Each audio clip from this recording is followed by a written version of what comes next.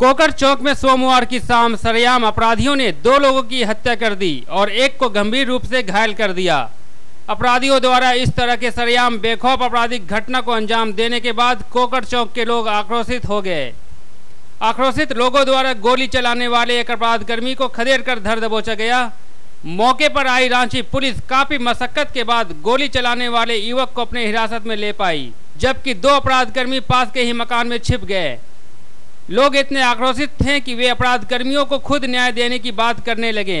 मिलना चाहिए। तो सजा देने तो पुलिस तो है ही पुलिस ठीक है। ले जाए। ले जाए साथ में पुलिस।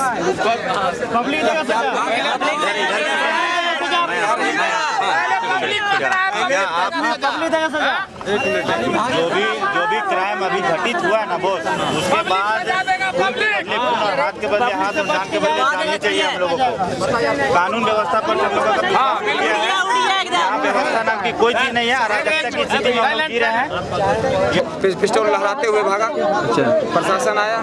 वहाँ प्रशासन पूछताछ कर रही थी इतने देर में हल्ला हुआ जो कि इधर किधर भागा है। पब्लिक सब घेर के यहाँ पकड़ लिया। तब प्रशासन भी आ गया। रांची के कोकर चौक में जिस तरह अपराधियों ने बेखौफ होकर गोलियों की बौछार की व रांची पुलिस की मुस्तैदी पर सवाल उत्पन्न किया है। पीबीएल नज़र के लिए मैं विवेक।